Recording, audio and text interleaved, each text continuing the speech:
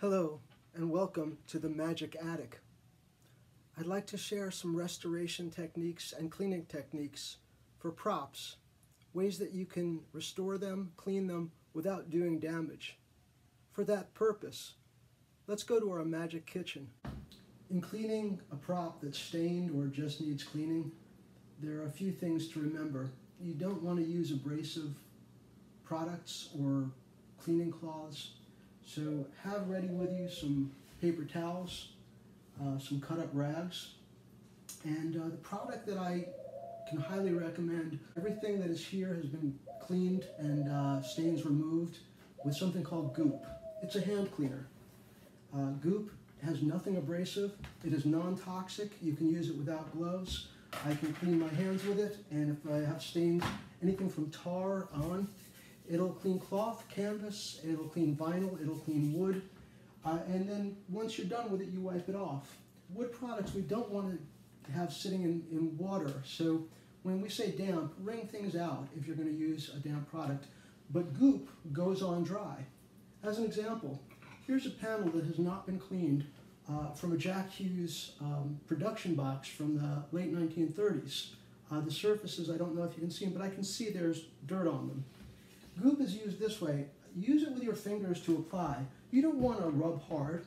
You might want to blow the thing off. But I'm going to take it, and there is a decal here, and I'm just going to rub it onto the wood so it's all over the wood.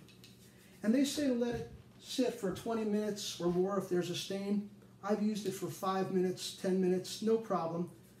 And I can let it sit now. I also have a Jack Hughes radio that I've done the top of and the back of. And you'll see later pictures that showed stains that were on here. I think they were paint stains, and they came off. There was a very bad stain on this product that I put goop on and I let it sit.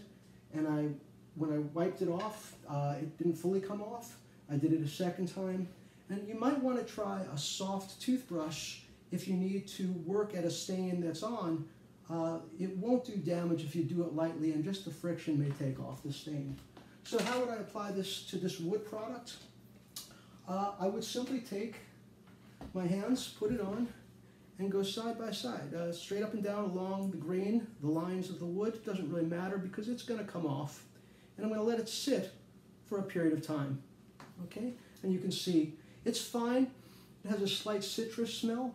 Some of them have an orange smell. I have here uh, paper towels, and in the same way you clean a car with a cloth, I like to fold them so that I can then refold them. Because you're going to see in a moment when I take off this goop, as I clean it, going back and forth, sure enough, uh, I don't know if you can see in this light, uh, there is quite a bit of dirt coming off. I could, if I prefer, use a, a cloth, um, again, rotating it, and just keep rotating it so you don't move the dirt into the wood.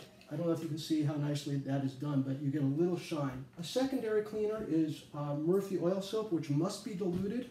Uh, otherwise, you can do some real damage to a finish, and it must be taken off fairly quickly. However, uh, that would be my second choice for a wood cleaner. A lot of people rely on that, but Goop has really no damage it's going to do.